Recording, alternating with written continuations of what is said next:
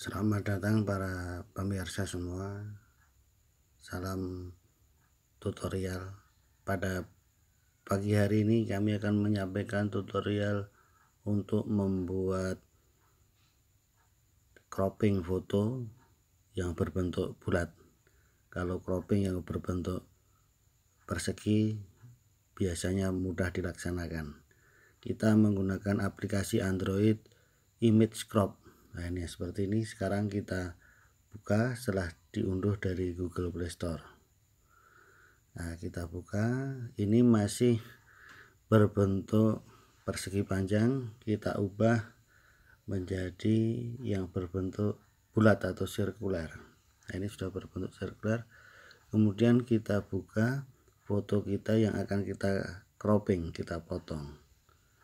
Nah ini kita buka dari galeri ini bisa kita pilih contohnya nah ini foto.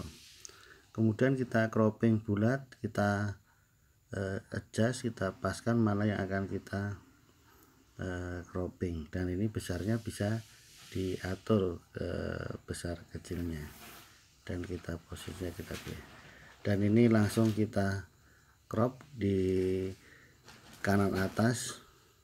Nah dan akhirnya sudah jadi. Selanjutnya kita Eh, eksekusi kita centrang. Nah, dan ini gambar ini sudah disimpan di dalam handphone ini. Terima kasih. Assalamualaikum warahmatullahi wabarakatuh